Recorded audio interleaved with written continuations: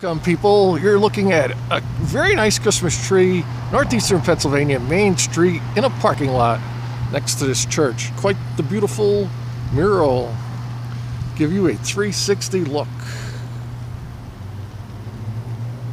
Yes. Support your local downtown businesses. Hey, people, I've been very busy, so if you like what you see, you have to support it because this is what it's like all about. This is done all free, unsponsored. Like, share the video because I am on Instagram and it's doing very well, I must say. And so's the Reels. So thank you very much. Also on Twitter, Facebook, Instagram, and Pinterest.